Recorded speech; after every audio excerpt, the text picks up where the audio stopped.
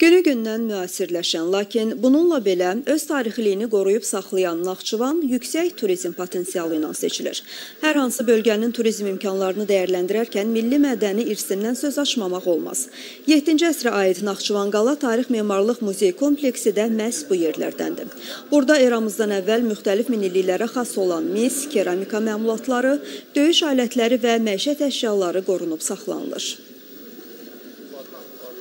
Muzeydə 500-dən çox eksponat nümayiş olunur. Bunlar arasında əlbəttə ki, bütün eksponatlarımız dəyərlidir, amma ən dəyərlisini desək 15-ci əsrə aid məzarüstü sənduqədir. Məzarüstü sənduqə mərmərdən hazırlanıbdır. Kənar hissələrində ayəti kürsüdən hissələr nümayiş olunub. Orta hissəsində isə naxışlar əks olunmuşdur.